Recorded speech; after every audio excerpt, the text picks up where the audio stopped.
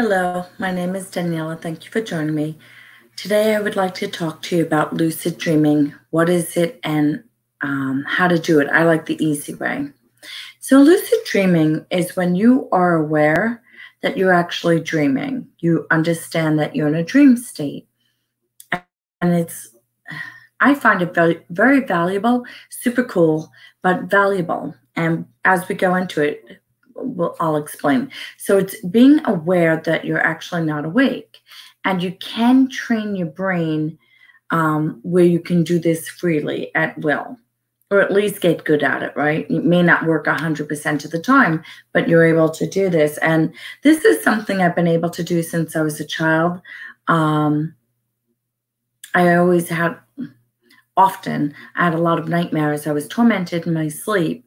And so I would try to steer as I was going to sleep in a certain way, not knowing that this was lucid dreaming. So anyway, um, so you can control your brain to become familiar with lucid dreaming by practicing, right? Anything that we practice, we get better at, right? All right. So number one, you want to make your bedroom as comfortable as possible. And a lot of people don't invest money in their um, bed like that's a, a big thing the bed right the bed has to be comfortable because if the, the bed's too hard or too soft the room is too hot it's too bright the pillows aren't comfortable you're unable to fall asleep if you're unable to fall asleep you're not going to lucid dream so it's pretty logical I love my bedroom to be like a safe haven, right? I even the colors that you choose and everything for the walls, for the sheets. I just think it should be very conducive to very um, to drifting off.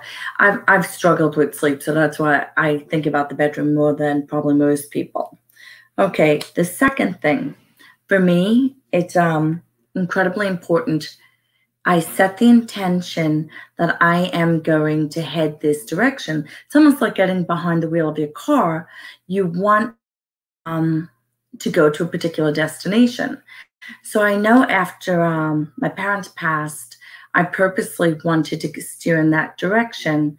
But there were other things that, okay, say if you want to work out a problem, that's another way to go. So my intention is just like, okay, this is where I want to go. This is how I did it as a kid. Like I just keep thinking about um, a person or a situation that I want to go do. Okay, so set the intention. This is, I learned later. Um, sorry about the back and forth with the glasses.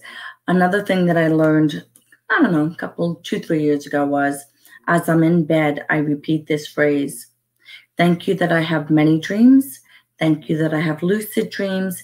Thank you that I remember my dreams. So I say this over and over. Again, on top of a destination, my intention is to lucid dream and to remember them. So thank you that I have many dreams.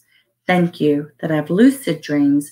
Thank you that I remember my dreams. So I found that to be incredibly helpful. Um, what else? Very, very um, important or helpful. I was even told when I um, received readings from other people, when family members would come through, they were like, You're losing a lot of the lessons because we learned when we're in that stage of dementia, right? And it was very important, vital for me to start keeping a dream journal. And it's a dedicated book. Mine's, I love mine. I should have put it over here. It's a little pink one. It's like um, Sweet Dreams. So I like to have my dream journal right on the bedside table in the first drawer with a pen, because if you just have the book, no good. The other thing that I like to do is have a soft, like um, Himalayan lamp, or where you could dim it because you don't want to become fully awake. That defeats the purpose too. Or um, a selenite. I also have a selenite lamp, like um, beautiful crystal, and I dim it. So this way, when you know it's important that, you know what, this is a lesson or this is information I need to recall, you can write it down. The other thing that I've done in the past, when I got sloppy and didn't have that material near me, I will um, speak into my phone and record it. So um, talk to text didn't work out so well because of the New York accent. But when I record it, it does work out. What else do I want to bring up?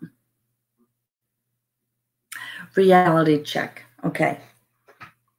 some people will tell you to squish your fingers, like it's just a sensation I guess you're familiar with.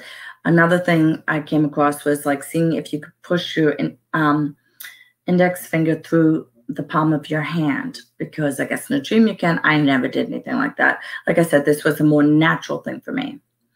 When I, one of the um, things that was crystal clear when I knew for a fact, beyond a shadow of doubt, I was lucid dreaming. My friend was a firefighter in 9 11 and he passed away. And shortly after his death, he came to me and I was with a friend of mine going up the elevator and honest to God, I didn't think we were going to make it right to get out on the floor. And when we did, um, there was only one person present, and it was my friend that was a firefighter that passed away. And I was so curious because I knew he was dead.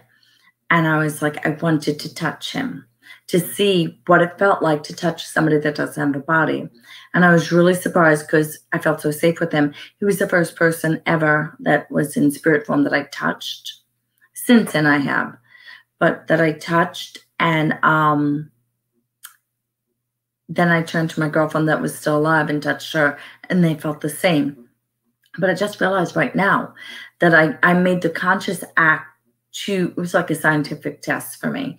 And it was really cool because I'm like, in your dreams, it's like you float down the river. You, you can't direct where you dream, like what's happening, what you're doing in your dreams. And that, like I said, this is something that's natural for me that I've always been able to do it, just didn't know what it was.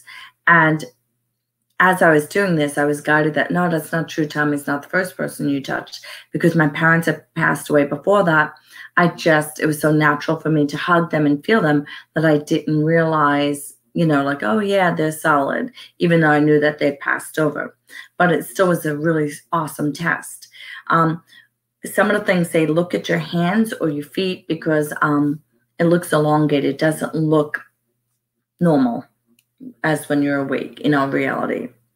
Let's see what else we have here. Oh, I love this one, and this is true. Um, everybody, we we lucid. It occurs during REM. Okay, for me, um, like I don't know, anywhere from five to seven in the morning is my deepest sleep. And when I keep, when I wake up from the alarm, uh, actually, yeah, a very young teenager taught me this.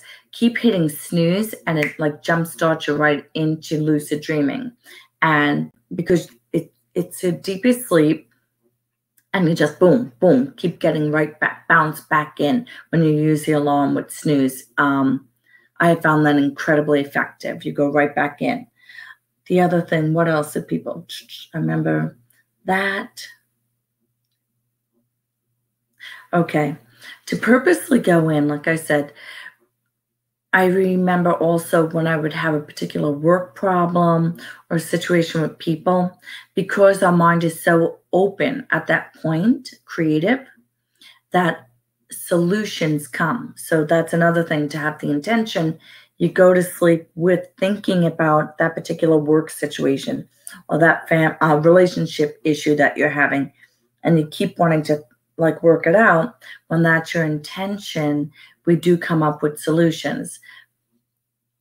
As you wake up that's why the dream journal is good because a lot of information comes through and you're recording it. Okay. It's not just amazing with creativity. What I, it's very helpful to also go back in your dream journals to see what information's been revealed over the years. And what was interesting to me one time, I had gone back a couple of years and I saw that through my dreams, things that I was not aware of while I was awake, I was um, given information about situations and things like that that were actually accurate. So let me just see if there's anything else. What is this? Oh, okay. Dream signs to help you be aware that you're sleeping, that it's a dream. They say with your dream journal, like as you're writing this down, if Aunt May or Mary is always showing up in your dreams, that's going to be one of your cues that you're in a dream. Or if it's always, I don't know, you're bike riding or you're always um, at a family dinner, whatever it is, the same thing constantly happens in your dreams, there's a repeating pattern. once you read that, like, you, oh, wow, again, this is a scenario, same scenario, same scenario. What happens because you're conscious of it at that point, then when you see it in your dreams, you're going to know that you're sleeping. Um, yeah, because I mean, I've purposely done it when I knew I was dreaming, and I'm like, wow, I wonder what it would feel like to fly.